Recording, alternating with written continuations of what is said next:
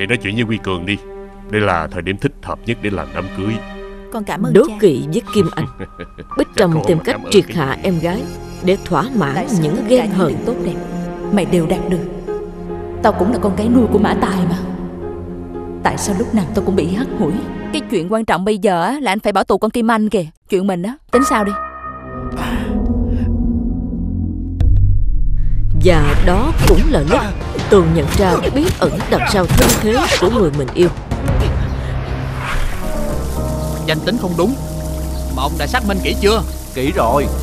Không lẽ là Những gì mà anh Cường cảnh báo với mình Là đúng sao ta? Đón xem những diễn biến gây cấn tiếp theo của bộ phim truyện Việt Nam Người thầm lặng 21 giờ các buổi tối thứ hai thứ ba trên truyền hình Vĩnh Long 1